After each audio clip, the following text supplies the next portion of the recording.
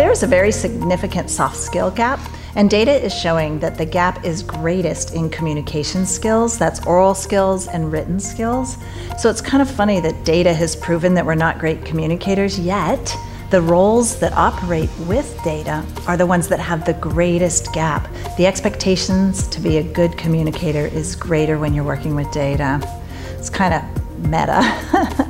So what happens when you learn to communicate well is your data moves from making sense to creating meaning.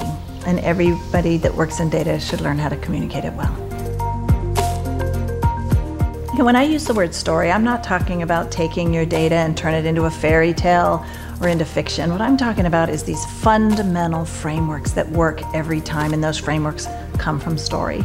So now that we can hook up fMRI machines to the brain, we're starting to see the science of what's going on in people's heads when they're listening to stories, and it's profound. So if you take that brain science and wrap data with these story frameworks and apply them, the brain is going to respond to you the same way the brain responds when a story is being told, and that's a powerful way to communicate.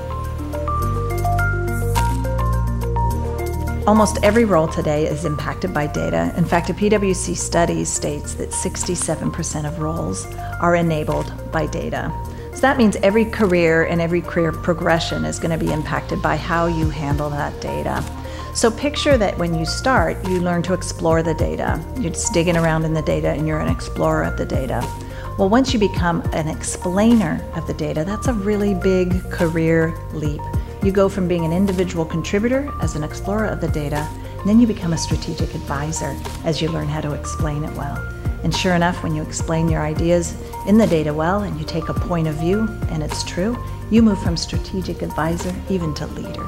So it will impact your career, it will impact your promotion criteria, and you will soon one day be a great leader through the data that you use every day.